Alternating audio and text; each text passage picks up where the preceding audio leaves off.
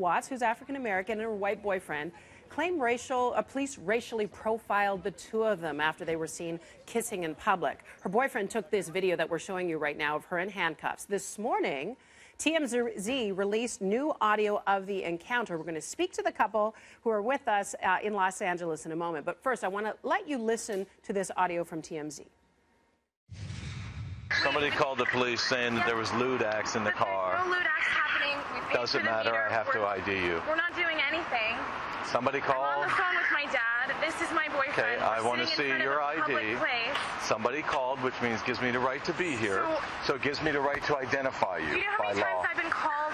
The cops have been called just for being That- black. that is just not- because we're black and he's that's- white. I'm just being really honest. I don't. Who brought up a race card? I'm Why? bringing it up because I had no. I said nothing about right you being be black, Here. and I have every right to ask your ID. And I have every right to say no. And if you'd like No, to, you do not have like every to right to say it, no. You can take me down to the court office and I can make a scene about it. No. And you know what? I have a No. publicist and I work as an I'm mildly interested. studio. I'm mildly interested. You have a publicist, but I'm going to get your ID. what- Do you see what time it is?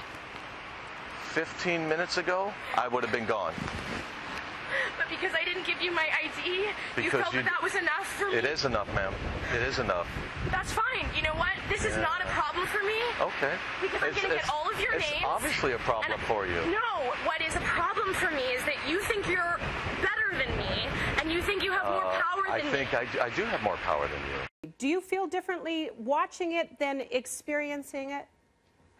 Um, I feel like it's something that I'm very appreciative is being made aware, you know, to the people of this country. I, I feel humbled by the experience, and I know that there's a lot for us all to grow and learn from it. Well, that's actually a very good point. Let, why don't we break down uh, as best we can what happened? We understand police said they received a call to 911 from somebody claiming that a man and woman were involved in a quote unquote sexual act. You guys say you were just making out in the car like a couple does.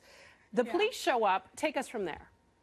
So um, the police show up. I'm outside of the car at this point talking to my dad on the phone. And um, he comes to speak to Brian and um, asks for my ID. Doesn't even talk to me, asks Brian for my ID. And when I overhear that while I'm on the phone, I interrupt them and I say to Brian, I say, no, he will not be giving you my ID because I haven't done anything wrong. And I know that I'm not required to do that. I'm talking to my dad, nothing personal, but I'm walking away. And when I walked away, yeah. So let me ask you, why not? Extrapolate on that a little bit more, Danielle, because I think some people might not understand why you you wouldn't just easily give them his uh, your ID and let them carry on your, their way and you on yours. Well, it's because I believe in America and what it stands for, and I believe in freedom. And I think that a country that calls itself the land of the free and the mm. home of the brave, if I'm within my amendment rights, my constitutional rights to say no, unless you're charging me with a crime, I will not be giving you my ID. That is a right that I stand up for because of the shoulders that I stand on, because of the hmm. people who fought so hard for the rights that came before me. Black, white, all people have been fighting for these rights for freedom. It's beyond race at this point. I know that we asked a couple of our legal analysts because we wanted to understand what the law is in California because many of us wonder do police have the right to ask you for ID? In California, the police, if they have reasonable suspicion, they are permitted to detain an individual for a reasonable amount of time in order to ascertain the person's identity. You also heard on the video there the police officer even saying, Look, if you just give me my- your ID, 15 minutes ago I could have been gone. Do you regret? Uh, do you regret just not handing him your ID now, or do you still feel strongly like I didn't have to?